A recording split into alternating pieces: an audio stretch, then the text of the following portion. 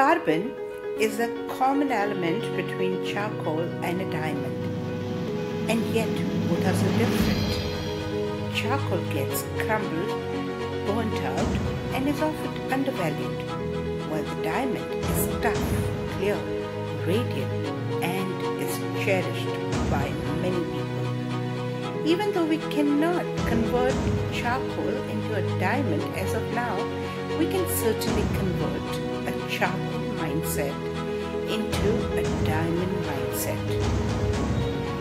Crystalline Mind by OP Presence Academy of Life.